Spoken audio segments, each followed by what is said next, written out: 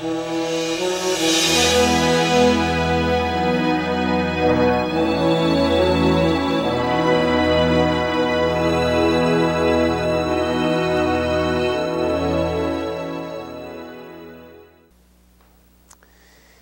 the course of our personal ministry, I receive a lot of letters. I walked back to my office one day at Talbot School of Theology and I noticed this huge envelope sitting in my door. And I pulled it out and uh, noticed immediately that there were a lot of pages here, like 36. And it started out, Dear Neil. and all I could think of was, oh no, a 36 page letter. So I thought I'd read it to you. It goes like this Dear Neil, it's Thanksgiving time, and do I ever have a lot to be thankful for? I'm free, I'm free, I'm free. Enclosed, you will find 10,000 thank yous. That's what it is. It's a marvelous computer age we're living in. He just pushed the button, went off, and had a cup of coffee, and gave me 10,000 thank yous. Well, let me go on to say what he said. I'm sending them to you for your ministry, your commitment to proclaim the truth through seminary classes, books, conferences, counseling, etc., and determination despite long hours, heavy demands, spiritual attacks, and disparaging remarks, even from believers, I'm afraid. He said, I know that you will immediately credit the source of all your success, gifts, and abilities to our precious Lord and Savior, Jesus Christ. I'm thanking Him too, constantly. Chalk up another pastor delivered from the terrible bondage of deception to freedom in Christ. Neil, I could match story for story, personal testimony for personal testimony, gross experience for gross experience with many of the letters that you share. I'm sparing you the vile details as you've heard enough, but if you could use a more detailed version to help another defeated pastor, I'd be happy to share my specific freedom from sexual sins, eating disorders, inability to read and concentrate on the Word of God, etc. Well, he attended one of our conferences and found his own personal freedom in Christ. But as I was sharing some of those responses that we're getting, pastors were asking me, What are you going to do with those? And I said, Well, I'm, what I'm doing with them. Well, that really prompted me, uh, since it's such a powerful thing to hear from people the transition that's taking place in their life and their own personal freedom. After all, we overcome, do we not, by the blood of the Lamb and the word of our testimony?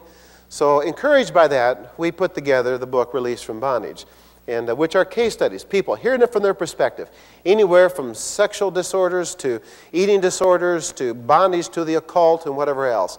But the answer for all of them was still the same. I'd like to share another letter. This one came from a pastor's wife. If she walked in tonight, you'd take a look at her. She looked like the most put together person here on the outside.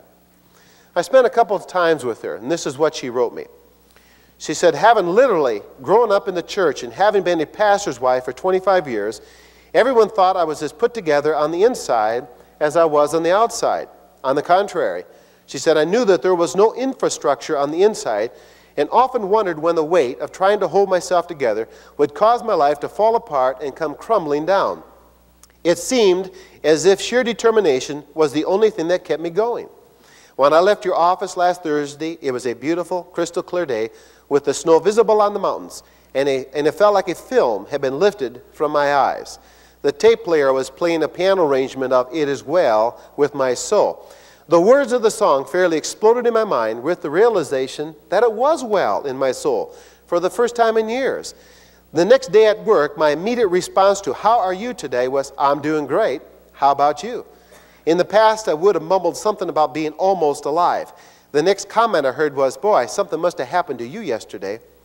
She said, I've, I've heard the same songs, read the same Bible verses as before, but it is as if I'm uh, hearing it for the first time, like it's totally new. There's an underlying joy and peace in the midst of the same circumstances that used to bring defeat and discouragement. For the first time, I've wanted to read my Bible and pray. It's hard to contain myself. I want to shout from the rooftops what's taking place in my life. But my real desire is for my life itself to do the shouting. Already the deceiver has tried to plant thoughts in my mind that this won't last, that it's just another gimmick that won't work. The difference is, is that now I know those are lies from Satan and not the truth. What a difference freedom in Christ makes. Well, what a difference it makes for all of us, right?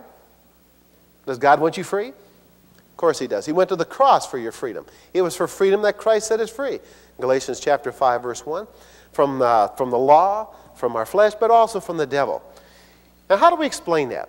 Am I some great anointed counselor, some gifted person? No.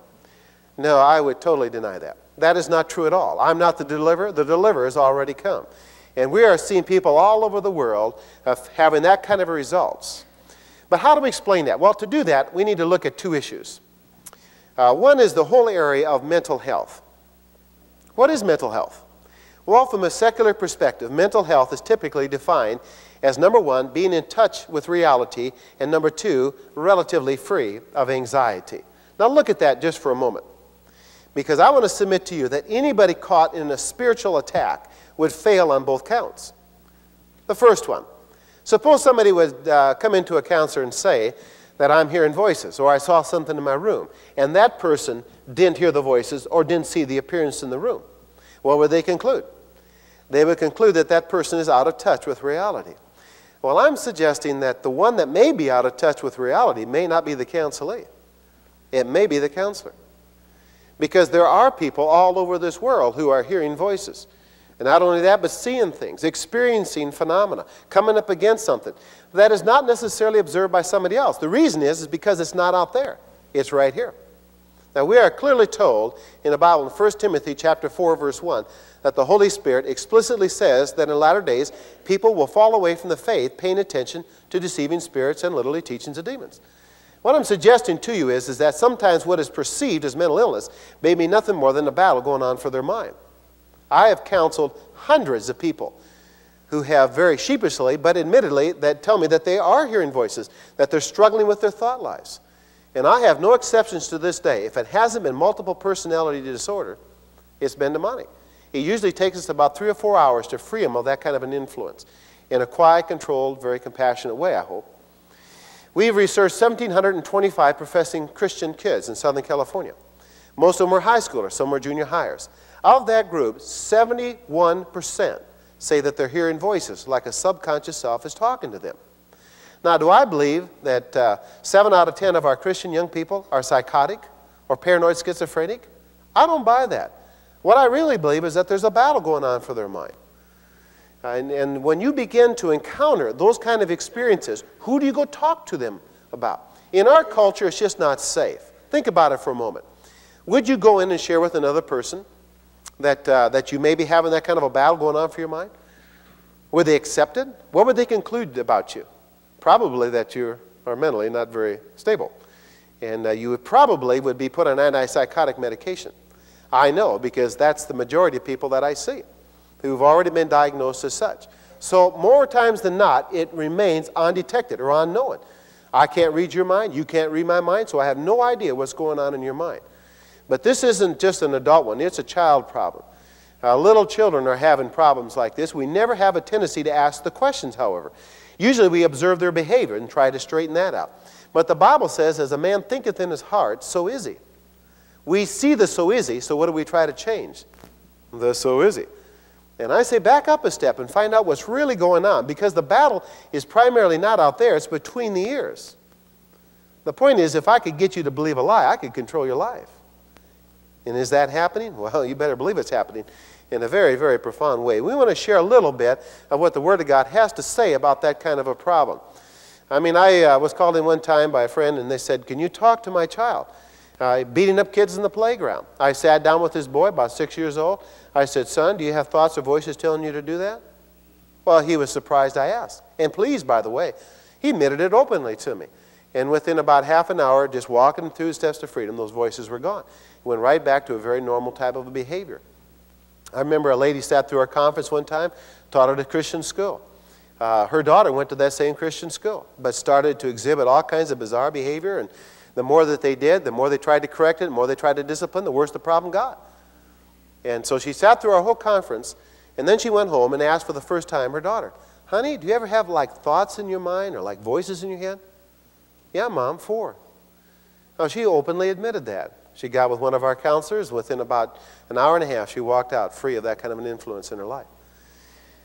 Now, I know that's hard to accept for some people, but if you've been in my seat for the last several years and just seen person after person struggle with those kind of problems, the sense is, is that, well, they must really be, be uh, immoral people or whatever. No, no, no. Half of my personal counseling has been uh, to people in full time ministry. But our young kids, we have to be concerned about that. I mean, consider this scenario for a moment. Let's suppose you have about a three or four year old walk into your room and, and, and just crying, Mom, there's something in my room. Now, in our Western world, what would we do? Mom and dad would go in the room, look under the bed in the closet, honey, there's nothing here, go back to sleep. Now, you're an adult, folks. If you saw something in that room, would you go back in there and go to sleep? But we have a tendency not to believe the kid. We say, well, it was a late night movie or whatever. I had a music director of a church at the end of the conference come to me and said, thank you. That's exactly what's been happening. My child has been waking up every night for the last three months, claiming there's something in her room, coming in crying to us. And said, uh, We've prayed with her, we've talked with her, but we really didn't believe her. And so, really, listening through this week, we decided we'd try something different. We sat down and said, Honey, you have Jesus in your life. Because you have Jesus in your life, you're bigger than they are. crouching in childlike terms. And they said, If you see something or hear something like that, you just tell them to get out of there in Jesus' name. Well, a little three year old accepts the word of their parents. That night, the child didn't wake up. And so they actually woke up the child the next morning. And her first words were, They came in my room last night and I told them to get out in Jesus' name and they left. Now, that little child will realize the truth of the Word of God, that greater is He that is in her than He that is in the world. And just simply accept the biblical instruction that we are to resist the devil and he will flee from us. There's nothing new here, nothing new whatsoever. But this problem is old as the Garden of Eden. There's a God of this world, there's a prince of power of the air. And we wrestle not with flesh and blood, but principalities and powers. Not believing that doesn't cause it to go away, does it? What I've got to do is just simply believe God as to the nature of the spiritual world we're living in and then learn how, in a truth fashion, to deal with that. Let me give you a, a letter that I got recently that was kind of exciting. We had a major conference in another city, and uh, from a quite different theological persuasion than I happen to hold to, which is kind of exciting about it. But anyway, they wrote me and said, Boy, your books are still our best sellers, and we've walked many people through the steps to freedom. But the story he wanted me to tell is this one. He said, A grandmother contacted us who was having a real struggle with her six year old granddaughter. The little girl had made a profession of faith at our Christmas production in mid December. And until this past Saturday, uh, she had had horrible nightmares every night. The little girl had an imaginary friend from age two to the present. Grandma never thought much of this, as the imaginary friend had never done anything harmful or evil. She felt it was rather strange, though. The imaginary friend's name was Ganda, and every time Grandma tried to correct the name to Rhonda, the little girl insisted her name was Ganda. Other strange things arose. A couple of examples. Once the little girl said Ganda had gone to the States and wouldn't be back for a few days. Grandma found this real strange, being that the granddaughter was only three years old at the time and had never been to the United States. Another strange incident was when the granddaughter said Ganda was going to have a baby, which she had and kept with her from that point on. When Grandma had Ganda described to her, she was a very beautiful young lady with long hair uh, full of flowers. Being that Ganda had never hurt the child, Grandma didn't know what to do. When I talked to Grandma, I recommended that she read our book, The Seduction of Our Children. She did, and then led her granddaughter through the steps to freedom. Within the week, Ganda was gone. The granddaughter slept through the night. Saturday, for the first time since she confessed Christ, no Ganda, no nightmares, complete peace. Needless to say, the whole family is rejoicing and grateful to the Lord for delivering this six year old child from four years of bondage to this demon. Praise God. Now, how much of that is going on? I don't know. I don't know. But we've got to at least ask the questions to find out what is going on. What is happening to a number of our people? In touch with reality? What is real? You know that the Bible asserts that the unseen world is more real than the seen world? That that which is seen is temporal and passing away, but that which is unseen is not, is eternal? And so, unless we see the world from God's perspective, I don't believe we'll fully understand how we are to deal with that part of reality. It's just a part of reality. We live in a spiritual world. Secondly, relatively free of anxiety. Well, that's a given, folks. The devil roars around like a hungry lion seeking for someone to devour. Why does a lion roar? It paralyzes its prey in fear and then consumes them. The issue behind that is very subtle because if fear is controlling your life, then faith is not. They're mutually exclusive. Let me give you an illustration. Uh, a pastor's wife. This is a very, very mature, educated couple. The wife got sick quite ill, finally diagnosed as pneumonia, wasn't responding to treatment, finally went in and took a liter and a half of fluid out of her lungs, and while they were there, they found a mass of cancer about the size of her fist alongside of her lungs. She immediately went into chemotherapy. I got back from my conference tour, and they called me, and they said, could you talk to my wife? She's just full me, just paranoid. And so I went over there, and uh, she wanted to see me alone. I said, All right. So I started to talk to her alone, and uh, she looked at my her Bible. She said, See that piece of paper hanging out of it? And I said, Yes. She said, Well, that's a list of who I am in Christ. I heard you talking that before, and I just want you to know that's kept me aboard uh, for these last couple of years. Then she looked at me, this very mature, beautiful Christian human being, said, Neil, I'm not sure I'm a Christian. I said, Sweetheart, if you're not a Christian, I'm in deep trouble.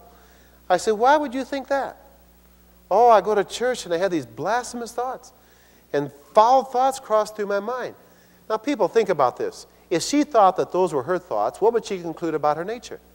And if you're facing the possibility of death, would you begin to wonder or not whether or not you're a Christian? Well, that's much of what that is aimed at. Well, with her maturity, about half an hour later, the voices were gone. She went through a year and a half of the most intense physical, radiation, chemotherapy treatment I think I've ever heard of. Frail to begin with. Doing great, folks. The last I heard, she's got a clean bill of health. But it isn't just her. Uh, you could share that all the way down the ladder. What's fascinating about this is, is to realize that this isn't a ministry based on Neil Anderson, folks. The deliverer is Christ. I want to just give you an illustration of that paranoia or that fear and to realize how transferable it is what we're saying. I uh, did a conference for uh, uh, churches across the country this past year, and it was their national convention. And afterwards, the pastor went home and took our material and sat down with a lady in his church. I didn't counsel this lady, he did. Uh, and then she wrote him the letter, but she wanted me, he wanted me to see it. Now listen to this story. Dear Pastor, she said, for the past 35 years, I've lived from one surge of adrenaline to the next. My entire life, the portion I can remember, has been gripped by paralyzing fears, which seemed to come from nowhere and everywhere, fears which made very little sense to me or anyone else. I invested four years of my life obtaining a degree in psychology, hoping it would enable me to understand and conquer those fears. Psychology only perpetuated my questions and insecurity. Six years of professional counseling offered very little insight and no change in my level of anxiety. After two hospitalizations, trips to the emergency room, repeated EKGs, a visit to the thoracic surgeon, and a battery of other tests, my panic attacks only worsened. By the time I came to see you, full blown panic attacks had become a daily feature. It has now been three weeks since I've experienced a panic attack. I've gone to the uh, athletic field, church services, played for an entire worship service at a church, awakened in the middle of the night, even made it through Sunday school with peace in my heart. I had no idea freedom meant until now. When I came to see you, I had hoped that the truth would set me free, but now I know it has. Friends have told me that even my voice is different. My husband thinks I'm taller. When you live in a constant state of anxiety, most of life passes you by because you are physically, emotionally, mentally unable to focus on anything but the fear which is swallowing you. I could barely read a verse of scripture at one sitting. It was as though someone snatched it away from my mind as soon as it entered. Scripture was such a fog to me. I could only hear the verses which spoke of death and punishment. I had actually become afraid to open my Bible. These past weeks, she said, I have spent hours a day in the Word, and it makes sense. The fog is gone. I'm amazed at what I'm able to hear, see, understand, and retain.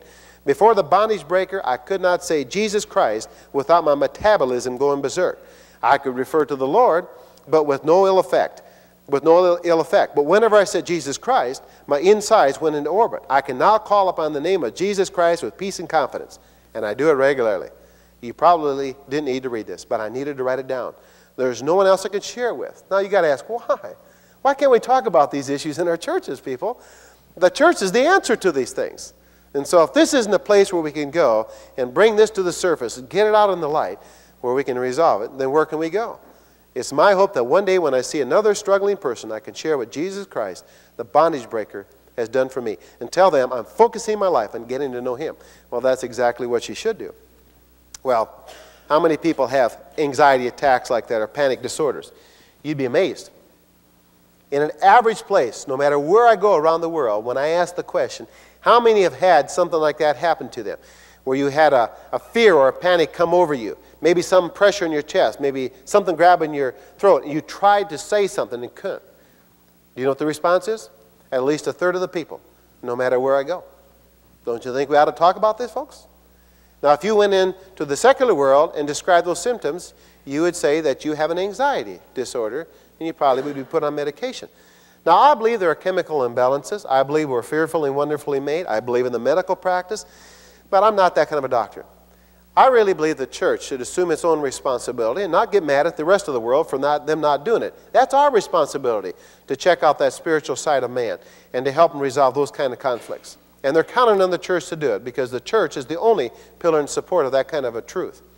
Well, so here's somebody today uh, basically wondering if they are mentally ill. I can't tell you how many people I've looked at after hearing their stories and say, You are not mentally ill. You're not going crazy. There's a battle going on for your mind. And the response is, Oh, praise the Lord. Well, you can imagine. There's hope in that. If there's a battle going on for your mind, could we win that war? Absolutely. Now, let me say something else in terms of mental health. From a Christian perspective, how would we define it? Well, I'd like to suggest to you that from our perspective, mental health should be understood on the basis of two issues. One is, do you have a true knowledge of God, who God really is in your life, and a knowledge of who you are as a child of God? If you knew that God who made you loves you, or went to the cross, died for you, demonstrated his own love for you while you were yet a sinner, Christ died for you, and had gone before you to prepare a place for you, who would never leave you nor forsake you. And then you realize yourself that you are a child of God and that you're in Christ and that there is no condemnation for those who are in Christ Jesus. And you had no fear of death. And having no fear of death, you're free to live today uh, with no guilt before God. Would you be a mentally healthy person? Absolutely, you would. But let me quickly add that probably the greatest determinant of mental illness is a distorted concept of God and who you are as a child of God. That's why secular counselors oftentimes don't like religion. Do you know why? All their clients are religious. Go into a psych ward someplace. Almost all of them have, have all kinds of bizarre religious notions. Some of them think they're Michael the Archangel or Jesus Christ or whatever. And, and it's fascinating that they, where did you learn that? From your church? No. No, they learned it up here, unfortunately. There's a battle going on for their mind. Now, look at that for just a moment because presenting the whole gospel to our people, most of the people in the Western world have received half a gospel. They understood that Jesus was the Messiah and he came in to die for our sins and we die, we'll go to heaven. Now, that's true but it's only half of the gospel. What Jesus came to do is to give me life. The whole problem is, is that you and I were born dead in our trespasses and sin, separated from God. We were in the flesh. What Jesus came to do is to give me life. There's a dead man over here. I wanted to save him. What would I do? Well, give him life. Well, if I gave him life, whatever caused him to die would still be there. No, if you wanted to save him, you'd have to do two things. You'd have to, first of all, cure the disease that caused him to die, which is what? The wages of sin is death. So what did Jesus do? He went to the cross to cure the disease that caused me to die. But folks, that's only half the gospel. You don't celebrate Good Friday, do you necessarily? Well, we do, praise God, but the real issue is is Easter. It's the resurrection. I'm the resurrection and the life. He who believes in me shall live even if he die. He shall live spiritually even if he dies physically. Eternal life is not something you get when you die. He who has the Son has the life right now child of God. You're no longer a sinner, saved by grace. You're a saint who sins. Having that perspective of who you really are. I don't know about you folks, but I spent about 25 years of my life trying to figure out who God was. Then I spent the next 15 years trying to figure out who in the world I was. You know what I found out from the Word of God? I was a child of God. See how great a love the Father has bestowed upon us that we should be called sons of God, and such we are. We need to have that Abba Father experience in us. When we're done helping a person find their freedom in Christ, there's two things that are true. One is they finally know who they are as a child of God, and secondly, there's a peace that guards their heart and the mind, the path is all understanding. And that's the kind of freedom I think God wants us to have, to know who we are as children of God. Let me give you another illustration of that, just to show you the power of it. I happened to receive this uh, letter from Russia, of all places, and I opened it up and, and uh, started to read it. It was kind of interesting because there was a couple of ribbons that fell out like that with CCCP. That's an antique, folks. Soviet Union doesn't exist anymore. But listen to her story and her testimony. She said, My name is so and so. I'm writing in response to reading Victory Over the Darkness. I'm sure you receive many letters, at least I hope you have, because that means people like me have had their eyes open to God's truth. I'm presently living in the Soviet Union. We'll be here uh, throughout this year. We're missionaries and been blessed to be able to work in the Ukraine area. Even though I've been a Christian for 21 years, since I was 12, I never understood God's forgiveness and my spiritual inheritance. I've been a bulimic since 1977. I was in Bible college at the time I began this horrible practice. Never thought this living hell would end. I've wanted to die, and I would have killed myself had I not thought that was a sin. I felt God had turned his back on me, and I was doomed to hell because I couldn't overcome this sin. I hated myself. I felt like a failure. But the Lord led me to purchase your book and bring it with me. I began reading it last week. I feel like a new Christian, like I've just been born again. My eyes are now open to God's love. I realize I'm a saint who sins, not a sinner. I can finally say I'm free free of Satan's bondage, and aware now of the lies he's been filling me with. Before I would confess to God, beg his forgiveness when I binged and purged. Yet the next time I fell deeper into Satan's grasp because I couldn't forgive myself. I couldn't accept God's forgiveness. I always thought the answer lied in drawing closer to God. Yet I went to him in fear, confusion, acting as a sinner who couldn't be loved. No more, she says. Through the scriptures, the way you presented them, I'm no longer a defeated Christian. I don't consider myself a bulimic. I consider myself a saint, salt of the earth, Christ's friend, a slave of righteousness. Food has no power over me. Satan has lost his grip on me. Well, now notice what, what, what transpired there was a total transformation of her understanding of who God was and who she was. Those are the most two critical beliefs that you hold. So who are you? Beloved, now you're a child of God. That's who you are. So mental health from God's perspective a true knowledge of God and who you are as a child of God, in touch with reality. But part of that reality includes the reality of the spiritual world that we're living in. Second clarification that I'd like to look at is the psychological versus the spiritual. Because the most common question I suppose I'm asked by a lot of people, and it's a good one, well, tell me when it's psychological or when it's spiritual. But frankly, I think it's a false dichotomy. Let me illustrate. I personally don't believe our problems are, are never not psychological. There is no time when mind, will, emotions, developmental issues, human uh, personality, and responsibilities are not contributing to your rise or to your fall, to the problem or to the answer. Our problems are always, in one sense, psychological, but our problems are never not spiritual. There is no time when God isn't here, nor is there a time, to my knowledge, when it's safe to take off the armor of God. The possibility of being deceived, accused, and tempted is just a continuous reality. But not accepting that, we have a tendency to polarize into a psychotherapeutic ministry that, that ignores spiritual reality, or jump into some kind of a deliverance ministry that ignores developmental issues and human responsibility. I believe neither one is going to adequately explain uh, life and, and the nature of our problems. I think it's going to leave us in bondage either extreme. The tendency for the psychological is try to explain everything from that basis as though somehow or another I can explain what's going on in your mind. But if you don't include the reality of the spiritual world and the fact that Satan can put thoughts there, then somehow or another your explanation of that is going to be inadequate. He's really got a fascinating letter some time ago, and, and uh, he scratched off the uh, letterhead on his letter. And I was reading down. He, he explains why in a moment. He says, Dear Dr. Anderson, I've just completed a miracle of total healing and forgiveness of my past through Christ Jesus, my precious Savior. Although I give him the glory and credit, I praise him for leading a good Christian friend to pass me your book. The Bondage Breakers. I began reading it late Sunday night. I've been unable to set it down as I heard the voice of God Himself speaking through your written words. This letter is written on my definitely former business letterhead, showing my mistaken belief that the use of hypnotherapy and other so called therapies, now recognized as New Age garbage from Satan, could help people to help themselves. Jesus has been causing me to re examine my involvement in these therapies and utilize your book to precipitate my total renunciation of all these things that are in direct opposition to the things of God. He said, Thank you for, for presenting the truth in a way that has broken through my overeducated mind. and uh, that is part of our problem. Uh, we're caught up in our own understanding instead of always acknowledging Him. Now, the other side is just as bad, people. And when somebody comes up and says, You got a demon of lust, that's not true.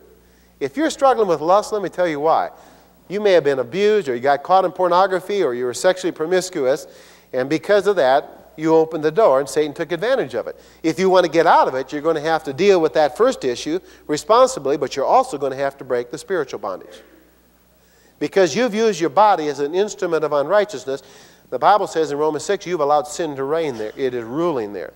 And to get that person out of that, we have several stories that we share in our book because there are so many people caught in that kind of sin confess, sin confess, sin confess, oh, I give up cycle. And never wanted to quite get out of there. But that's not the whole picture, folks. It's sin, confess, resist. That's the picture. And somehow or another, kind of rejecting both extremes here, dealing holistically with people, recognizing that you are a spiritual being. You're created in the image of God. Well, who is God? God is this spirit. And so there's a spiritual reality of who you and I are. It's hard for our Western world to accept that notion, but people, the Bible clearly asserts it. If you're created in the image of God, you are a spiritual being. Absent from this body is to be present with the Lord. So my primary identification is not this physical body, it's really I who lives within me. It's the real you who is now, if you're a child of God, your soul is in union with God right now, spiritually alive right now. And so I have to reject that polarization. Frankly, I long for the day when Christian uh, counseling, pastoral care that is legitimate can be accepted on two bases. One, do you have a gospel? Is this person here just a product of their past, or are they primarily a product of the work of Christ on the cross? Is there a, a realization the fact that old things have passed away, all things have become new? And secondly, do I have a biblical worldview that takes into account the reality of the spiritual world that we live in? We've got to deal with that as a reality. Let's look at another issue here. The whole area of, of uh, truth versus power. It's not as though they're in opposition to each other, because power is an important thing for us as well. But several years ago now, well, about three or four years ago, uh, a major seminary and, and a man pulled together uh, a conference called uh, Power Evangelism. Now, to be there, you had to be teaching something on the seminary level in terms of spiritual warfare. So it was a rather unique group of people who were invited, to say the least. And uh, the spectrum was quite broad theologically. There was uh, mainline uh, Assemblies of God, Pentecostal types, to charismatics, to third wavers, to evangelicals, and all conservative, all Bible believing people. So it was a, really a healthy interchange. Went on for three days, very formal. It resulted in the book Wrestling with Dark Angels. But here we are, Power Evangelism Symposium, and I'm the last person to present. And I was probably the only one there that was coming at this from a pastoral care perspective. And I remember standing in front of the group and I said, People, I don't see this as a power encounter. I see it as a truth encounter. I believe it's truth that sets us free. And secondly, I said, I'm afraid we bought our method out of the Gospels instead of the epistles. Now, the difference is really quite profound if you think about it. You see, prior to the cross, Satan was not a defeated foe. He was the God of this world. Jesus himself said, The ruler of this world has come, but he has nothing in me. But after the cross, things change. Number one, Satan is defeated. Colossians 2 said he's been disarmed, made a public display of. The Lord has triumphed uh, pouring forth of the Holy Spirit was evidence of the fact that he was glorified and he's seated at the right hand of the Father. But prior to the cross, not a defeated foe, to deal with that as a reality, it would take some specially endowed authority agent to deal with that. That's why the apostles and Jesus were able to. But Jesus said to the apostles in Luke chapter 9, verse 1, He said, Behold, I've given you authority and power over demons. First thing He said to the 12, and then send them out. And in Luke chapter 10, when he sent out the 70, when they came back, the first thing they said was, Lord, even the demons are subject to us. And so, what caught the eye and the attention of the early church was that reality that still exists to this day. But when you come to the New Testament, you don't see that kind of instruction, or at least the epistles to the church. To my knowledge, there's not a, a, a one instruction in the epistles to the church to cast out demons. So Many have concluded maybe we shouldn't be doing this. But yes, we can. It's a part of our reality. But there's one major perceptual shift that we have to understand. Not defeated before, but now being defeated, it is no longer the outside agent's responsibility to do that. It's the individual's responsibility. You see, I can't put on the armor of God for you. I can't take every thought captive to the obedience of Christ for you. I can't forgive for you. I can't renounce for you. Confess. I can't really do anything for you. But I can help you. I can assist you. Now I've got a very definitive passage right in the pastoral epistles. 2 Timothy chapter 2 verse 24 says the Lord's bondservant must not be quarrelsome, able to teach, patient with wrong, with gentleness, correcting those who are in opposition, if perhaps God may grant them repentance, leading to a knowledge of the truth, having come to their senses that they may escape the snare of the devil, having been held captive to do his will. Now, there it is, folks. But that's not a power model. That's a kind, compassionate, able to teach model. That is helping that person assume their responsibilities. When I was uh, done sharing that, one of the leaders suggested, Does that work? I said, Yeah, it really does. I said, How many of you tried that on? I said, Well, really, hundreds. And I said, uh, If you look at the picture for a moment, the tendency that we get in certain kind of deliverance ministries is that I, as the pastor, the missionary, maybe the counselor, would somehow call up the demon, possibly get its name and rank, and cast it out. But in that scenario, who's the deliverer? Well, it's the pastor, the missionary, or the counselor. Where are they getting their information from? Demons. Let's try another one. I, uh, I want to suggest to you that the deliverer has already come, and that's Christ. And, and I think what God would encourage us to do is to get our information from the Holy Spirit. Now, look at another issue along this line here. Doing it this way, realizing that I've got to get God into the process. It's God who's going to grant repentance, leading to a knowledge of the truth, that they may come to their senses that the battle is primarily here. Then the critical issue is, is, is somehow or another, let's resolve the issues that this person is struggling with. What is it inside that's creating this kind of a problem?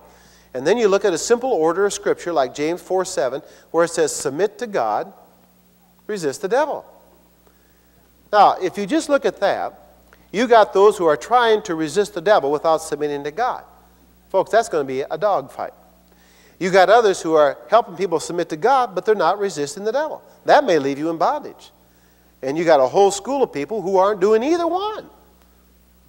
Well, I think the critical issue is, is really to submit to God and to help that person make the kind of decisions that are going to connect them with God. If it's Christ in you, the hope of glory, then the critical issue is, is that I've got to get you in Christ and complete in Christ.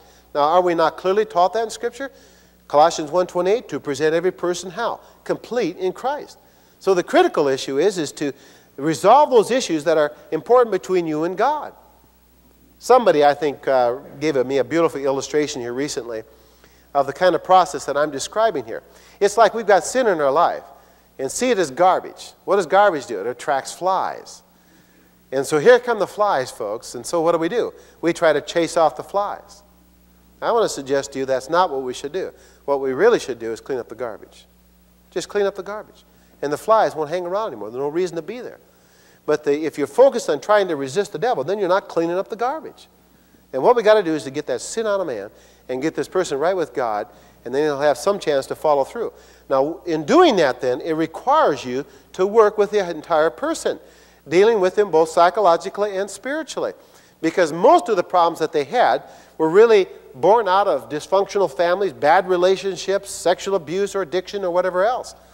I got a letter here recently from a seminary professor in another school. Never met this guy. And uh, this is what he wrote to me. He said, I've come across your materials a couple months ago and really sense that they express the truth that I've been struggling with concerning Power Encounter. I've been involved with Power Encounter on the mission field and as a teacher here at our seminary. I have really been concerned with the lack of personal involvement of the counselee in this process. I've utilized your materials in counseling situations over the last few weeks with dramatic and powerful results. All of my students in my prayer and evangelism class are reading The Bondage Breaker and going through the steps to freedom. I'm spending spe- uh, personal sessions with those whose bondage is too great for them to deal with on their own with very positive results. I'm ordering additional copies of the Steps to Freedom in Christ guide. The only copy that I have is not going to survive very long, which I'm sure you understand. I have viewed the two hour video on counseling procedure. We taped a counseling session, and that's what he was watching, which was very typical of the counseling sessions I had used uh, in my own personal work in ministry with people. Now, what's fascinating about that, what I love about it, is the fact that I didn't train this guy. This guy is doing this. And the reason is, is that the Lord is the deliverer.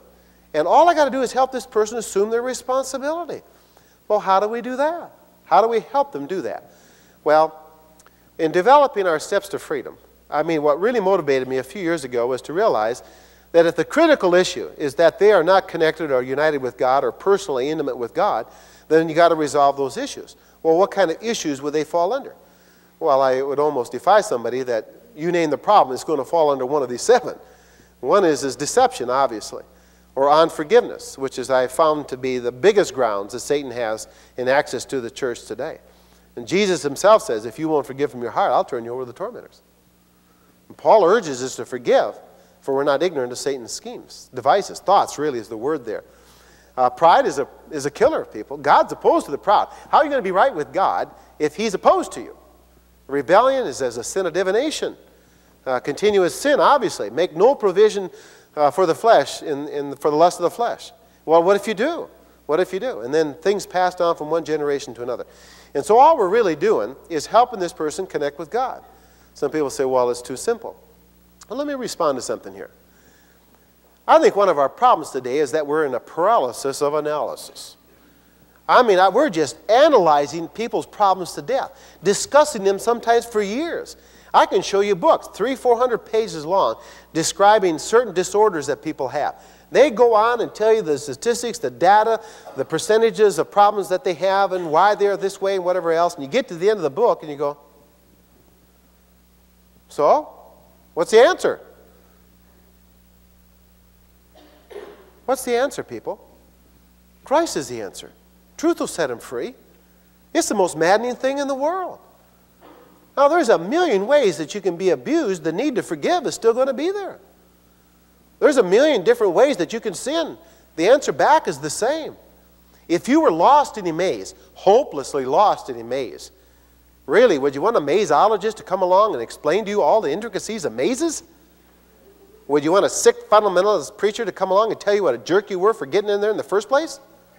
What would you want, people? I think you'd want to know the way, the truth, and the life. How do I get out of here? What's the path back? Well, it comes with a deep commitment that the path back has to be to God because He's the answer. I can't set anybody free. I really am not the wonderful counselor, and neither are you. But the wonderful counselor is here. And what we've got to do is get God back into that process. Let me show you that in Scripture. Uh, take your Bibles and turn with me to James chapter 5. I don't know, really, of another specific passage in Scripture that would tell you what to do if you were sick or suffering. Now, think about that, really. What do you do? And I want to point out a couple of things in this that sometimes are not very clear to people. Take a look at this. James chapter 5, verse 13. The tendency is to always focus on the oil, and then the effective prayer of a righteous man availeth much. I want to kind of ignore that for a moment and look at three issues. James chapter 5, verse 13. Is anyone among you suffering? Let him pray. Who's supposed to pray, folks? The person suffering. Now, I'll tell you what, in the earlier parts of my own personal ministry, suffering people would come and see me. Oh, Pastor, would you pray for me? Well, what are you going to say? Well, of course I'll pray for you. Uh, but I didn't see much results, to be honest with you. And then it suddenly dawned on me I said, it really isn't what I do, it's what that person does. That's the critical issue. We believe in the priesthood of believers. All of us have access to God. Uh, I can't pray for you. Now, I can pray in your behalf, but you need to pray. It's just like I can't study for you. Now, I can study and give you a good message, hopefully, but the real critical issue is is you studying to show yourself to prove? Is you praying with your, your Father? Now, you know, it's fascinating because a key pastor in our community brought in this person, sat me uh, and watched as I led this person to freedom in Christ. That was the thing that blew his mind more than anything else. I mean, he just scratched his head. I said, I can't believe it. It's like I've fallen into a trap. Everybody comes in and wants to pray. Oh, so I pray for him. I said, How much results do you see?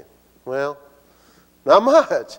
I said, but the answer is, is them praying. When you see what we're doing in our Steps to Freedom and what brought these people to freedom in our book, isn't what Neil Anderson did. It's what God has already done and what they do to get right with God. It's what they do that counts. So if any of you is suffering, let him pray. And then notice the next verse. Is anyone amongst you sick? Let him call for the elders of the church.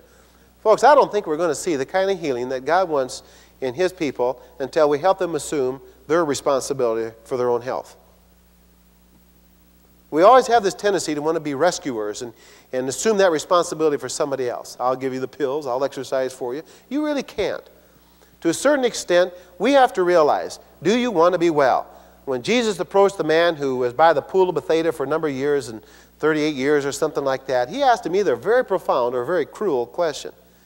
He said, Do you want to be well? Now, obviously, it was profound, folks, because truth of the matter is he didn't want to be. He didn't want to be. Well, there are some people who like their sickness, who want to stay in it. Can we help them? Probably not. But we got to help that person assume that responsibility. If you won't study, if you won't pray, if you won't assume some responsibility, then why is the church spending all that time? Jesus didn't. Now, that is not a cruel statement. If I really care for you, I'd have to put that back onto you where it belongs. Because there are certain things you and I can't do for each other. I can't assume that responsibility for you. I do have a responsibility to you, and I'll assume that as best I can. But for you, I can't. I can't. And so if I'm a conscious person, I'll care enough for you to confront you and say, This is a choice you have to make. Well, I don't want to forgive. Well, all right, but I care enough about you to say that'll leave you in bondage. Forgiveness is something you do for your sake. You got to study, you got to pray. And then verse 16 it says, Therefore, confess your sins to one another and pray for one another so that you may be healed. The effective prayer of a righteous man can accomplish much. We focus on the last half of the verse. I said, When does an effective, fervent prayer of a righteous man availeth much? And my answer is, after that person has confessed their sin. Now, if you think about that for a moment, why would God want to bring that kind of healing and freedom to our people if that person is stubborn and rebellious and won't answer up to God? I mean, even as a human, I don't think you would particularly do that. But when that person assumes that responsibility, when they are clean. And that's all we're really doing is helping this person face their bitterness or their pride or their unforgiveness. When they've done that, now watch how effective your prayers are. Watch how effective your prayers are. And so, in the dilemma that I feel that we're in in the Western world, and recognizing the reality of the spiritual world in which we live in, and understanding that mental health really begins with the true knowledge of God and who you are as a child of God, and that we got to stop this polarization and start dealing holistically with our people, not in a New Age sense, folks, but in a Christian sense, helping them to assume their responsibility in a loving, compassionate way. And let me just leave you with that last thought because it's a critical one. The Lord said one time in Matthew, He said, You go and learn what this means. I desire compassion, not sacrifice. The kind of people that I've been talking about are deeply hurting people. One ounce of rejection, one criticism, one disparaging remark, and they're gone, people. We're dealing with damaged people, hurt, broken people that desperately are looking for the church to provide that kind of truth and that kind of hope that is Christ in you, the hope of glory, that there is an answer. Frankly, I'll put myself on the line. I think the integrity of the church is at stake. We've been caricaturized and patronized to the point you can't help these people. I don't believe that's true, folks. I don't believe it's true. I believe Christ is the answer. I believe truth sets people free. I believe that. But if we understand appropriately and know that person, how they can enter into that kind of relationship with God and come to terms with that truth that does liberate, does set us free. But I think the best Christmas present that I've received in a long time, I got just this past Christmas. There was a gal who was so badly abused in her past that I couldn't even talk to her without my wife being present for a number of times just because uh, of the fact that the number of men who had treated her so horribly. And she's far beyond that right now, but she wrote this out and sent it to me for Christmas this past year. And I want to share it with you because I think it is profoundly uh, powerful in the sense of what the role of the church should be today. And this is her story. She said, While on vacation as a child one year, I happened upon a gold watch that I had noticed was lying on the ground. It was covered with dirt and gravel and was face down in the parking lot of our motel. At first glance, it did not seem worth the effort to bend down and pick it up. But for some reason, I found myself reaching for it anyway. The crystal was broken, the watch band was gone, there was moisture on the dial. From all appearances, there was no logical reason to believe this watch would still work. Every indication was that its next stop would be the trash can. Those in my family who were with me at the time laughed at me for picking it up. My mother even scolded me for holding such a dirty object that was so obviously destroyed. As I reached for the winding stem, my brother made comment as to my lack of intelligence. Been run over by cars, he chided. Nothing could endure that kind of treatment. As I turned the stem, the second hand of the watch began to move. My family was wrong. Truly, odds were against the watch working. But there was one thing no one thought of no matter how broken the outside was, if the inside was not damaged, it would still run. And indeed, it did keep perfect time. This watch was made to keep time. Its outside appearance had nothing to do with the purpose for which it was designed. Although the appearance was damaged, the inside was untouched and in perfect condition. 25 years later, I still have that watch. I take it out every once in a while and wind it up. Still works. She put it in a bag and brought it and showed it to me one day. She said, I think as long as the inside remains untouched, it always will. However, Unless I had bothered to pick it up and try to wind it years ago, I never would have known the part of the watch that really mattered was still in perfect condition. Although it looks like a piece of junk, it will always be a treasure to me because I look beyond the outside appearance and believed in what really mattered its ability to function in the manner for which it was created. Here's the hard part. Thank you, Neil and Joanne, for making the effort to pick up the watch and turn the stem. You're helping me to see that my emotions may be damaged, but my soul is still in perfect condition. And that is what was created to be with Christ, the only permanent part, the part that really matters. I know that deep within my heart, no matter what my feelings are telling me, this is true. I also believe that with the help of God's servant, even the casing can be repaired, and maybe even that will become functional again. People, it's the church's role to pick up the watch and turn the stem. They are desperately looking to us for an answer, and I believe it's Christ. And I believe that truth will set us free.